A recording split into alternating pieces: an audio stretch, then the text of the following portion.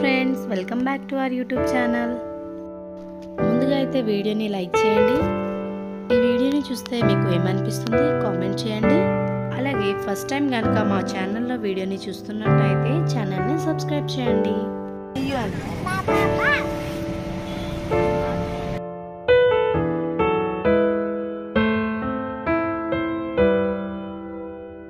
ఇప్పుడు మనం air craft museum ఎదురుగా ఉన్న